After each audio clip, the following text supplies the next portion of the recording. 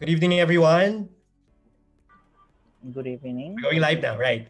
I'm Lawrence Castillo. So, Good evening. yeah, good evening. So, we're now at our talk back for the first exhibition set of Pelikultura 2020. So, I'd like to welcome everyone to this session today.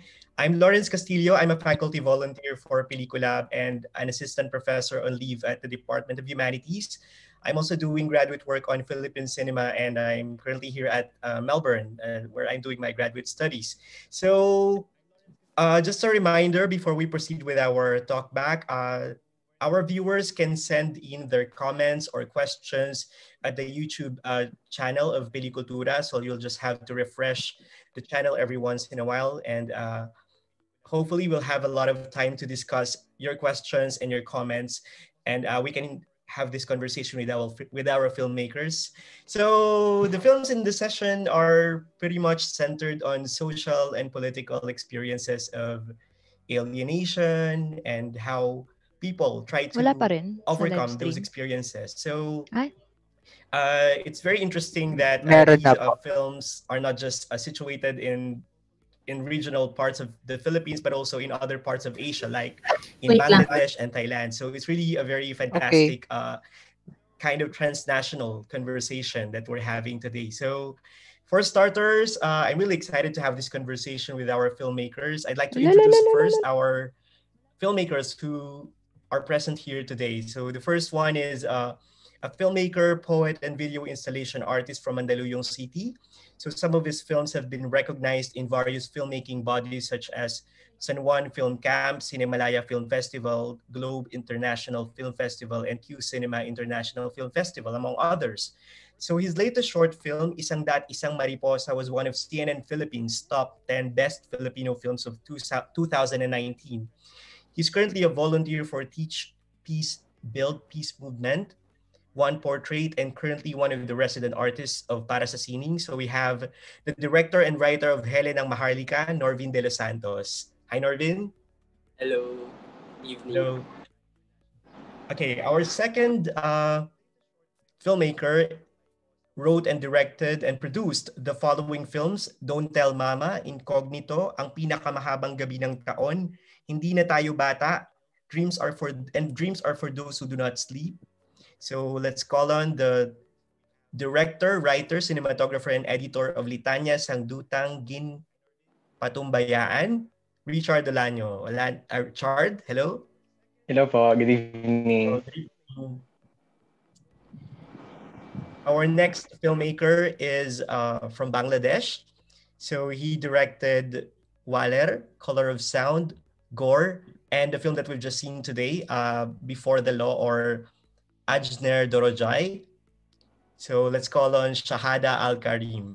Shahada, Hello, everyone. Greetings from Bangladesh. yeah, thanks for joining us today.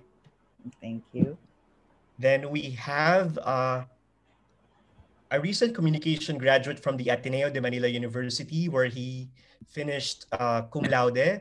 So his filmography includes uh, Sa Pagitan ng Kapana- Kapanig at Dayuhan, the film that we just seen, and Panunumbalik, where he served as director, writer, and editor.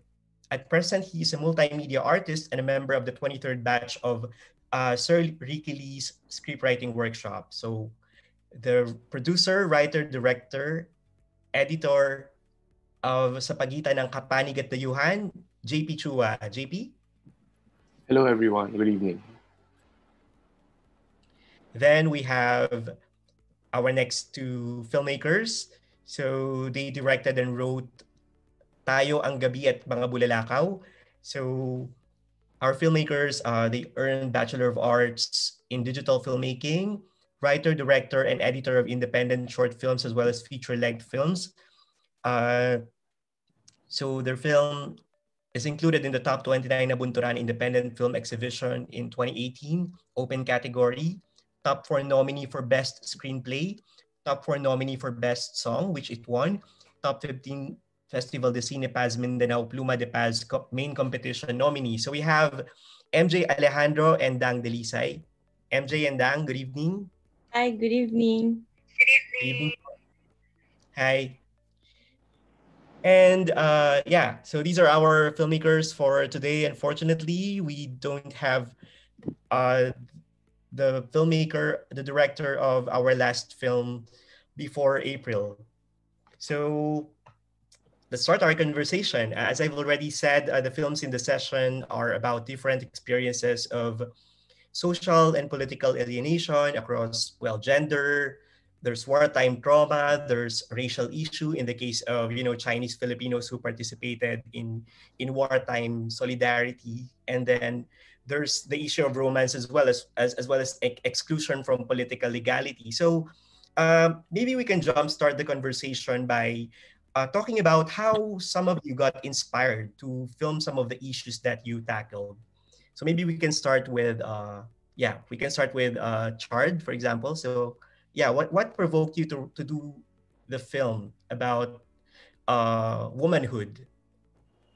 Um, actually, I was here in Capiz when I saw a group of women, you know, praying, um, uttering litany, and and it somehow um, inspired me to create a film that depicts or that depicts how how how women um, utter litanies, how how womanhood is shaped not only by societal but also political forces, and it has come to to how how how womanhood is determined by forces that are um you know beyond their control. So it it somehow um limits them or it somehow you know avoid or prevents them to do what they really want or to explore the things that should be explored by them. It's it also depicts how how, how the marginalized sector are um in some way um they're they're you know their resilience are over romanticized and it's also a question of faith really because um we ask where do the litanies we utter go. We ask where our voices go our calls go. So it's it's all about um, you know, interlaced womanhood, um, the pressures, um, the factors that affect it, and marginalization as well. Yeah, yeah, that's very insightful, especially how you talk about the the the, the aspect of litany as you know it, it's a form of supplication especially if you are shackled by different forms of oppression and you know litany is one of those you know verbal incantations that you take recourse to to somehow escape from that kind of marginality uh, yeah, I, would also like to ask uh, Shahada about his experience in uh, in shaping the film that uh, that we saw. I mean, it's very. Uh, I saw the synopsis, and you talked about how it's about the law, and you also mentioned something about ideological state apparatuses. So, can you tell us something about the background that that the background, probably the social yeah. background uh, where you're reared in, that somehow compelled you to come up with this uh, film concept? Yeah, thank you. Um, the first thing that uh, crossed my mind when I was thinking about making a film, actually, it was my graduate production uh, because uh, I have completed my master's in television and film studies in the University of Dhaka. Uh, so I was supposed to make a film that uh, would provide a you know a presentation that uh, what I have learned in these days, but I thought it uh, and took it in a different way that I tried to make something that will make someone or the audience to think about or uh, make change in the thinking process. Uh, because whenever uh, I have observed uh, the society, whenever that it, this crossed my mind that in our society, what the system does actually, um, they actually shape our thoughts in different ways with uh, different apparatuses and it may be the repressive or maybe with consent anything. It may be anything but there are yeah. different problems that we we we want to discuss about that. And uh, different problems like uh, here i have shown in a way that uh, peasants are not getting the money. They have produced the rice but they are not getting the proper money. In our context, actually in the context of Bangladesh, when I was making the film, uh, there were, were, some problems like uh, in the case of productions, and uh, of course, you know, um, in case of uh, sexual, uh, you know, oppression in case of things and different things like uh, in our society going on. But you know there are no attempts to solve the problems.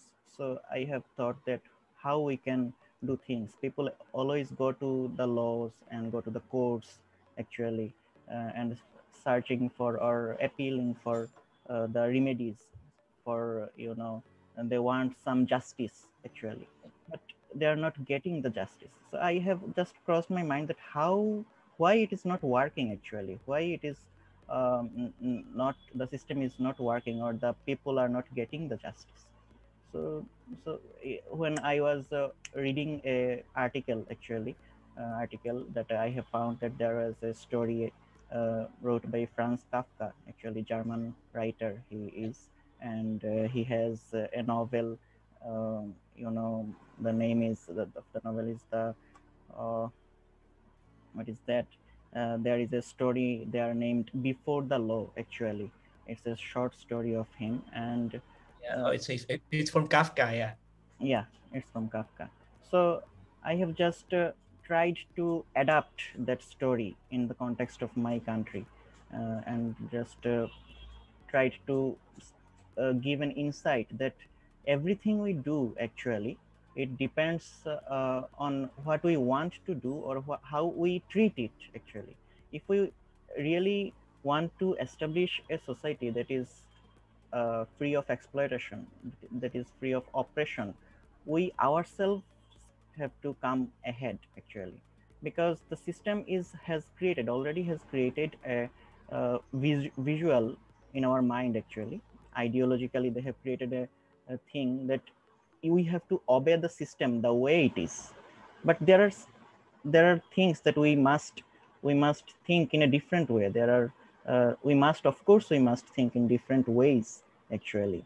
Uh, not everything the system shows us are the right paths. Not we are just being oppressed actually.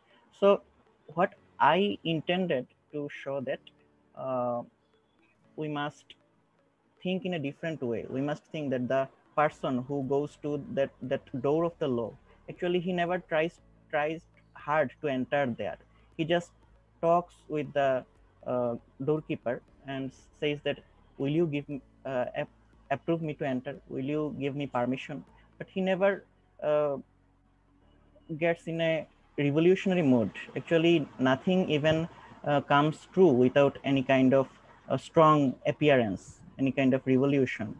So it is the system which has made our, us to think that yes yes actually uh, you should not do any kind of uh, different thing. You should do what we have done to you. We have said you that just wait we will give you the justice we will give you the justice. But when? We have to think it in different ways. So that actually uh, worked in my mind when I was just thinking about the film, and after that, I tried to do something about that. I don't know how much I have been actually uh, been able to done.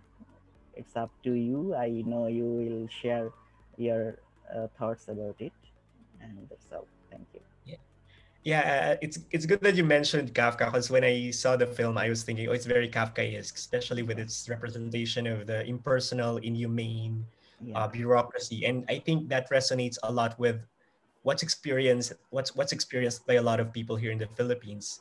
Uh, yeah, so we we also have another question for uh, MJ and Dang because uh, the the issue of you know uh, various relationships, you know the different kinds of relationships that are now emerging and becoming more acceptable across communities. It's very very interesting, especially with all the developments and progress that we have made in terms of gender politics. So I, I'd like to ask you about what really inspired you to to do with this film about the tro- the throuple. So, uh, and also there's another question about if you have any problems that you encountered while shooting the film. So, Dang and MJ, can you tell us something about yes. this uh, film? Uh, so the film was uh, so we wanted to create a three inter- interconnected stories that showcase different types of relationship or unconventional love, which is the throuple, Young Love, and the May December. And the film was also based in the province, which we all know na sobrang ta- tabu pa rin nung ganong klaseng relationship. We, even in the even in Manila, tabu pa rin.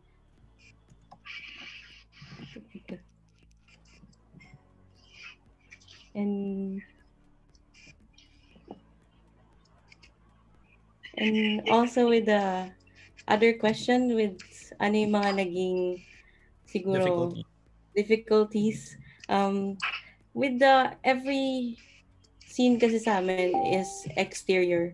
And meron kami scene sa bundok sa hill. So everything we need to source out especially the electricity and the weather. Sobrang may mga scenes na it it, it wasn't supposed to be raining but we try to incorporate the rain so magkaka-connect lahat yung scenes kasi that time um sa Romblon kami nag-shoot merong bagyo so we had to deal with the weather that time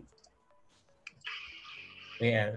Always the problem with uh, shooting in the tropics, right? the weather the unstable weather. Yeah, but uh, yeah, it's it's good that you were able to to integrate those kinds of uh, unexpected events in in the filmmaking. to make use of everything Yeah, yeah, you, you just maximize the, the the conditions, the external conditions that you cannot really con- control. So yeah, it's really fascinating that you mentioned something about how this th- these kinds of relationships are not really that yet accepted, but uh, they're slowly gaining our attention. And I think your film is very important in that respect, if only to give a kind of visibility to these kinds of relationships that these are not invalid. These are forms of how people deal with each other. This this is an expression of one way of how people value each other. And it's really it's really really interesting. It's really fascinating.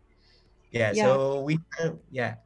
Uh so uh, Actually, a few Yeah. things I just wanted to say that we wanted to create those kind of films because uh, I think uh, films are expanding, but we still don't see a lot of this kind that this kind of films. So we wanted to like start something na ganun yung topic. yeah it's it's very important because uh yes as we've as we we all know i mean film is very much responsible for making us imagine things that are beyond what what's usual what's conventional what's accepted as you know the the norm so it it kind of participates in that uh breaking of boundaries breaking of horizons.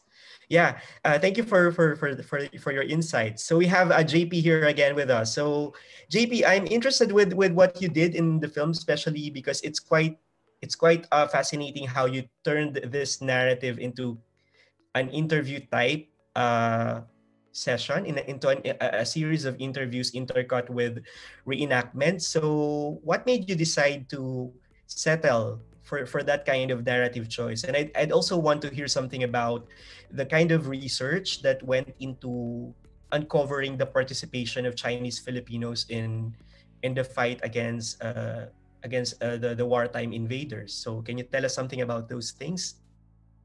So for uh, the film, um, actually, while watching the film back, I realized, grabe, kahit we produced that in 2018-19, but then I realized a lot of the research, a lot of the actual story I've already forgotten. And it was good to be able to be reminded of the, the story again after watching it. Um, the film was produced as my production thesis for uh, my course in Ateneo. And the there there's something about the production thesis process in Ateneo that we can't really necessarily choose the narrative that we want to make. So um, we only get to know what we can produce once we get approved. So during the early parts of the year, we were planning what we were going to pitch to the to the, the board, to the panel. But then there were a lot of things that were um, rejected. And then we came up in last minute to um, decide, ah, there's a Chinese Filipino group who fought alongside the Filipinos and the uh, Americans against the Japanese. So, okay, let's delve into that. Initially, the film was supposed to be sort of like a, a thriller wherein we would just reenact uh, an encounter between the Chinese, Japanese, and the Filipinos. But then um, a major part of the thesis is really how we remember the politics of memory, how we remember the past, and how the remembering dictates also how we view it, both how we view the past and how we view the people in the present who bear that past with them. So as a Chinese Filipino, I really wanted to explore that because um, in my own um, processing of my films and my identity, I really never wanted to pursue a Chinese Filipino film because, for one, I had the feeling that ah, I'm not Chinese enough, but then at the same time, ah, I'm not Filipino enough because my skin is too white and so on and so forth. But then, in this in this in in this interlap, uh, in in this space between the two of those parts, I found that there was a historical group, a Chinese Filipino group, that actually dictates an early friendship between the Chinese, the Filipinos, and the Americans. And then it made things feel more grounded for me as a Chinese Filipino, especially that uh, I'm reminded that my father was actually naturalized as a Filipino because he Mm. he's a pure Chinese during that time. So, um, my background in documentary filmmaking because uh, I started making narrative films and then really delving into documentary films. So I had a grasp of um, shooting um, interviews and then changing narratives throughout uh, post production. So I wanted to integrate that as well as how we imagine certain things. I saw this meme, parang um, the meme shows um, watching uh, National Geographic's or Discovery Channel documentary on zebras, and then the other one is on lions. And then we have different reactions to how the film frames a certain subject or a certain narrative. And so I guess the three characters in the film all represent and don't represent my ideas on Chinese Filipinos and Americans, Japanese, and everything. And so I found the the form to be a good way to to physically showcase the different themes and mas madali siyang ma-defend in the thesis. Uh, and at the same time, I found my my chops in documentary filmmaking integrated in also my appreciation for narrative filmmaking. So I, think that's where I found making that kind of form and that docufiction-esque uh, genre fit the the story and the thesis. Yeah, it, it's really nice that you mentioned something about the problem of identity because I recall that there was a raging debate online before about Chinese Filipinos uh, being, you know, questioned in terms of their national loyalty, especially with the West China, West Philippine Sea, sorry, West Philippine Sea issue, among other things. So even F. Sionil Jose, the national artist, uh, gave his two cents worth, and then the scholar Caroline Hau talked about it as well. So I remember the debate about political loyalties and the question of national exclusion national inclusion. So it's it's a good uh, addition to, to to to this to this kind of conversation as well especially given that there's a history of prejudice in uh, anti-chinese prejudice in philippine cinema. So it's nice to highlight this kind of Yes. chinese filipino solidarity being foregrounded through this uh, wartime wartime docufiction. So thank you for that. And uh yeah Can I add, speaking of ah yeah sure sure Okay. um, because it's very interesting how when we uh, found about the Huachi, um, I actually told the story of finding the the group with my grandfather, and my grandfather associates more with Taiwan, so like democratic. But then I wanted to push through with the story of the Huachi despite their leftist um, leanings. And then, as we know, mainland China is socialist, communist, and they shared the same um, ideologies. But then their setting, like the their setting of the Huachi, despite their uh, associations with the Hukbalahap and the left, their their contribution is beyond their ideologies. Their contribution is cultural, sociological, uh, in terms of like how it showcases a, a relationship beyond the left and the right. And at the same time, yes, you mentioned about the the, the issues. This was produced 2018, 2019, so sobrang roaring during that time, especially with the West Philippine Sea, South China Sea. yeah, and yeah, yeah. I really wanted to use this film as a reminder, not just for my friends, for the people who would watch it, but also to myself, that I am more Filipino than I am associated with mainland China. And so China. that's really what really brought and gave birth to the the film. Yeah it, it's fascinating how you know even even a historical film can resonate with with our contemporary questions. So yeah, thank you thank you for this uh, contribution to the conversation. Yeah, and speaking of uh, identity, uh, so there's a question uh, for Norvin. So since uh yeah, your film is a is a film about uh it, it's about Marawi, right? So there's a question about how uh, how how how how can how do you how did you process your experience of making the film given that you are a non-Moro? So so what are the challenges of of doing a film uh, from a non-Moro perspective and yet trying to articulate the experiences in the Marawi siege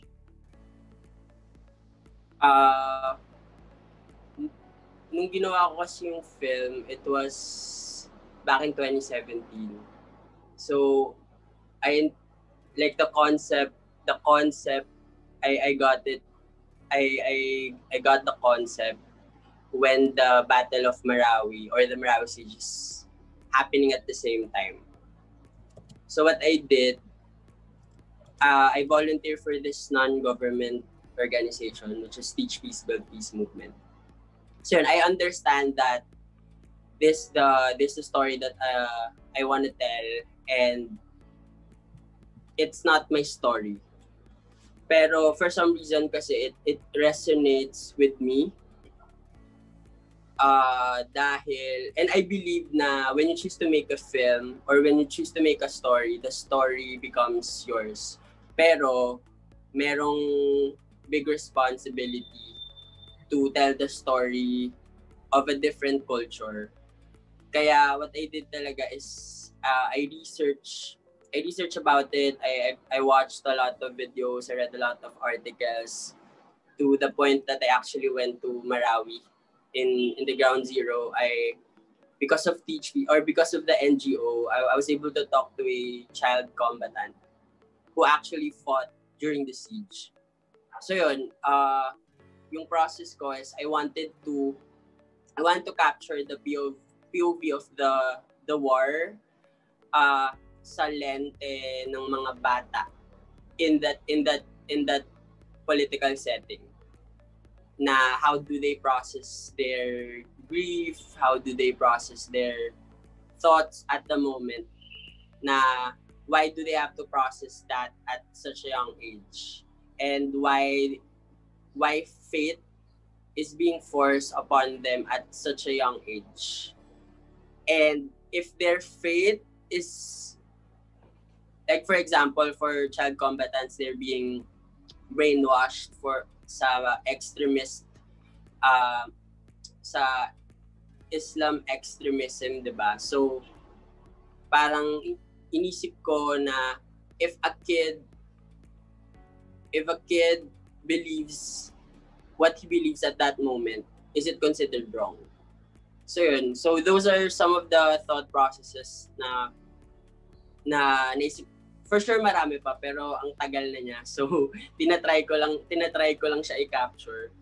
Yeah. Ayun, uh, I've done my re- I've done my research. So since I chose to tell that story, I wanted to make sure na I wanted to make sure na gagawin ko siya ng tama. Ayun, uh, actually uh, being with the community or the people that I'm trying to tell the story of. Parang ganun. Yeah, it's actually very yeah. The, your your film was was actually the first one in the set, and it's so heavy. I mean, it's really it's really kind of uh, harrowing to to to begin the exhibition set with with your film, especially because it involves a child.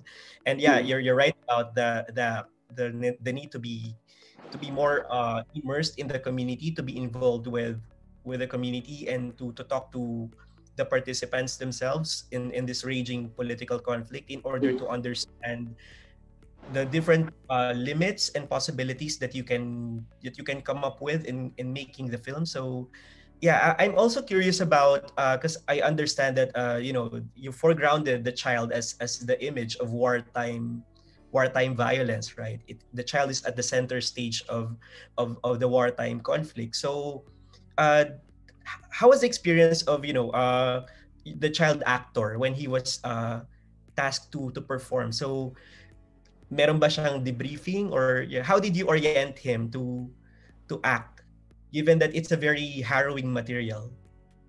Actually, that's one of the biggest challenges that came up when when we were shooting the film is the kid parang to to look after the well-being of the kid given that the the, the source material is is that that somber ganun. So inassure ako ng yung kid na kinuha namin back then is actually Amoro.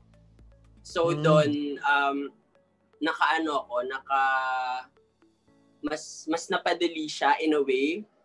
Pero maraming yun nga since the kid is also a theater actor so the way he processes he processed the the instructions the motivations well what happened is the mom assured me that he can take it.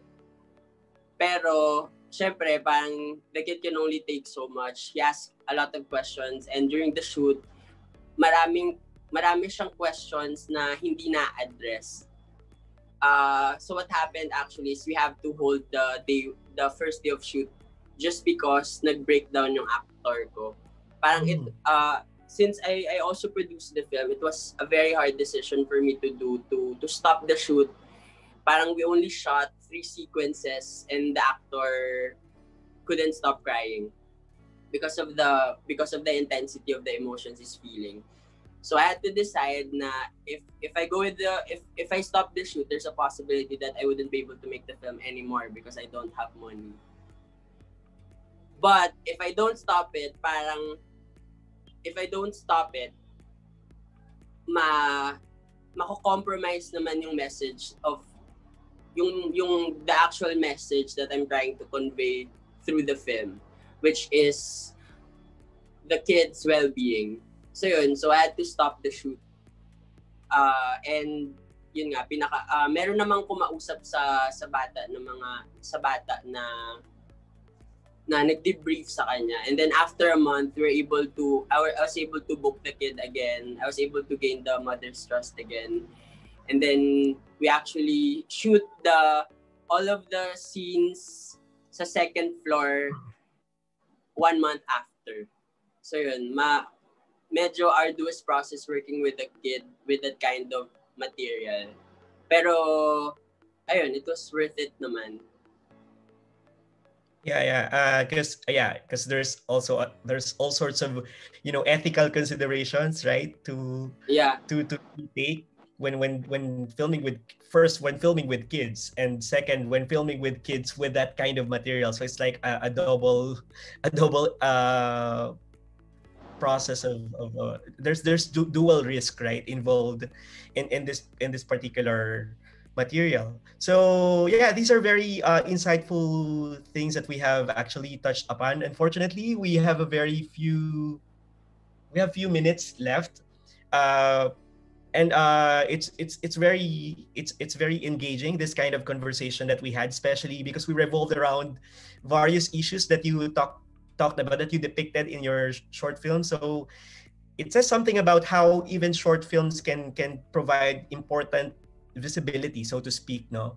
Uh, to highlight special issue uh, uh, special messages uh, socio-political issues and other experiences of marginality. So i think it's a good set. The exhibition set is a good one because it was able to traverse through all those uh, layers of marginality from from the ethnicity issue of the Chinese Filipinos, the the the the, the ethnicity and, and political conflict uh, in in Mindanao uh, as through as as uh, filmed through the perspective of a child, and then we have an experience of bureaucratic uh, inhumanity from Bangladesh. Then we have uh, the the womanhood problem uh, in in Chard's film, and then of course the, the the different kinds of relationships that remain constrained by socio-political norms uh, in MJ and Dang's film. So it's it's a very good mix of various social uh, social marginalities and how people imagine ways of of overcoming the, the constraints post to them. So thank you very much for for joining us in in this conversation. Uh, before we end, uh, I'd like to thank our sponsors uh, for for this uh, online edition of Pelikultura. Yeah, so we have, uh, of course, uh, the UPLB Peliculab of the Department of Humanities, which served as the major presenter, the, the, the, the main presenter of Pelikultura, University of the Philippines, Los Baños, in partnership with Pasalida, Pasalidahay. It is also co-presented by the National Commission for Culture and the Arts and the Film Development Council of the Philippines. And of course, we have our sponsors, Manila Times, Take Off Philippines, Inquirer, Inquirer Pop, Umalohokan Incorporated, UP Alliance of Development Communication Students or UP ADS, UPLB Society of Chemical Engineering Students or UPLB Schemes, UPLB Chemical Kinetic Society or Chemokinesis UPLB, Society of Exchange Students UP, 24 Frames, The Rhetoricians, UPLB Babaylan, Association of Filipino Forestry Students UPLB, UPLB Infocus Multimedia Guild, and the UPLB Comart Society. So thank you very much to everybody who joined us uh, in this. Uh, ah, yeah, sure, Shahada, sure. Yeah.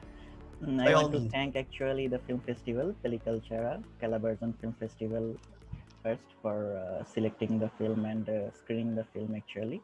And of course, with this, I want to thank you all and uh, thanks for inviting me in this uh, great con uh, conversation. And your moderation was uh, too good, and we had a great time in this afternoon. And thank you all and we wish actually i uh, wish that i will uh, continue the work actually with social and political contents uh, in case of the filmmaking. And thank you all. Yeah thank you for thank you for that uh, wonderful message uh, shahada. Uh, jp would you like to give a short message too? With your cat? Hello this is my cat. Okay alis mo na siya Wala siyang TF daw eh. A goodbye okay. to your, what is his name? Lunar. Okay. Um, siguro, what would, nagulat ako, sorry. um, well, now, during this pandemic, in a way, we have a cinematic reset with, and a cultural reset with everything. The pandemic has showed us the inequalities, the difficulties, and the injustices, not just in society, but in our in the very systems that we live in, that we live through every day. And so, in processing this collective trauma, in processing this um, collective difficulty, as not just as a nation, because we have people from Bangladesh, from Thailand.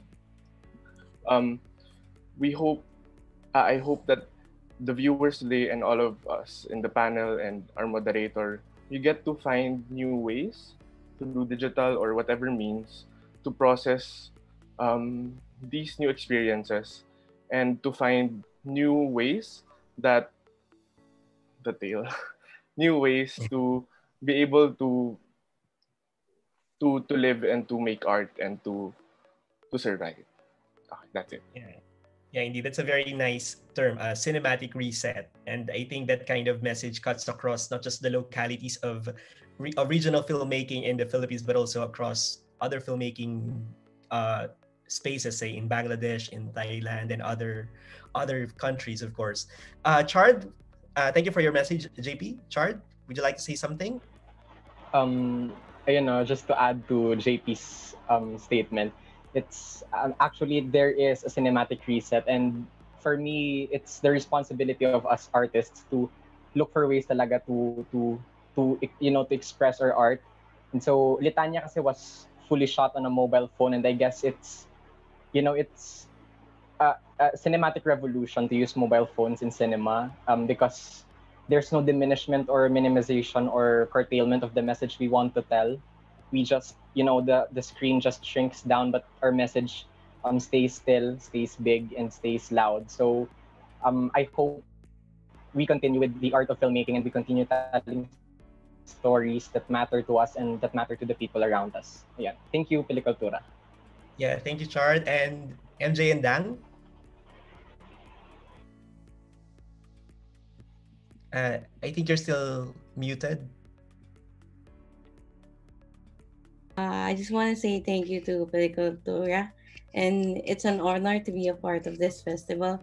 I hope you guys spread films that are locally made, especially films that are made by students, and showcase different uh, films that show messages, things that uh, we haven't really talked about, especially this time. Yeah, it's always great to have this conversation, no matter how limited the platform is. But yeah, I hope we make the most out of this cinematic reset and find new ways of telling stories, filming stories, and as Chard says, um, sending messages to people that matter. Okay, sending messages that matter. So yeah, thank you very much for joining our talk back for the first exhibition set of Pelikultura 2020. To our viewers, thank you very much, and please continue to watch all the other filmmaking film film sets of Pelikultura 2020. Thank you very much, and have a good night. Thank you, everyone. Thank you.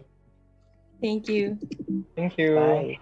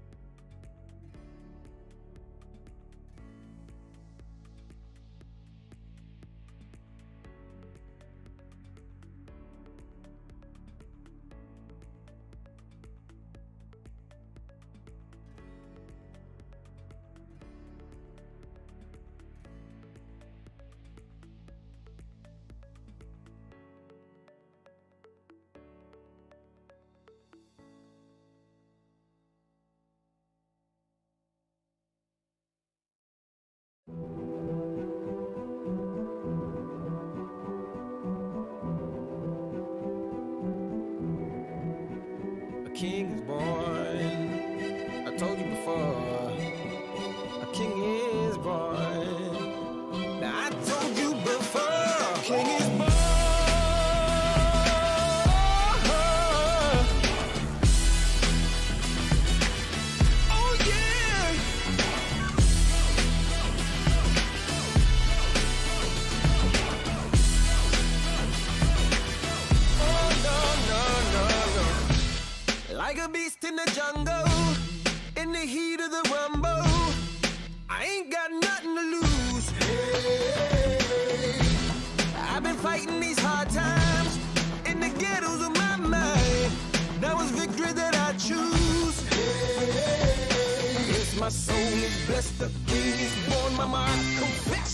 Bad, bad man. Ain't no one like me.